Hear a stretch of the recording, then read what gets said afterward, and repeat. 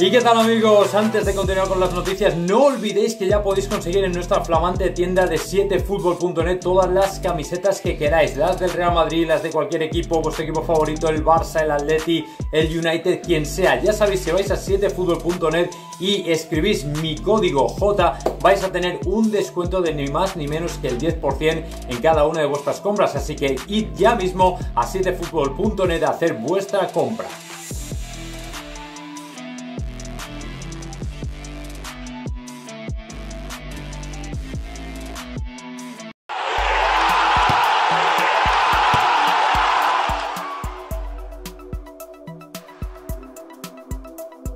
Y bueno, si antes os he comentado la noticia de el famoso o la última exigencia de Haaland para fichar el año que viene por cualquier club, os la ponía en relación a una noticia que es muy mala, que no le viene nada bien porque le deja en una posición en la que muy poco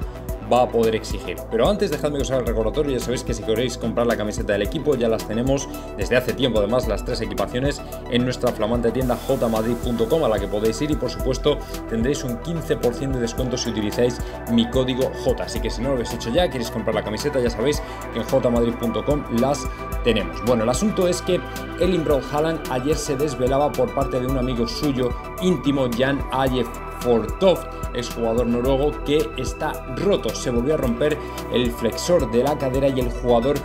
no volverá antes de final de año. Es decir, mejor dicho, que no lo he dejado claro, se va a perder lo que queda de año. Vale, Haaland está fuera. Está fuera para lo que queda de 2021 y no le volveremos a ver jugar hasta 2022. Y ojo, porque las lesiones empiezan ya a aparecer en, el, en la carrera de un futbolista que parecía absolutamente fulgurante, pero que poco a poco, no digo que se esté viniendo abajo ni mucho menos, pero lógicamente las lesiones son un gran problema, una gran remora para su evolución, porque además teniendo en cuenta que el año que viene va a fichar por alguien, muy probablemente el Real Madrid, pero va a fichar por alguien seguro y va a salir del Borussia Dortmund, no es una buena noticia que el jugador empiece a tener tantos problemas porque este tipo de cosas ponen en alerta a los clubes y obviamente le dejan en una posición muy débil en la que seguramente no va a poder exigir prácticamente nada.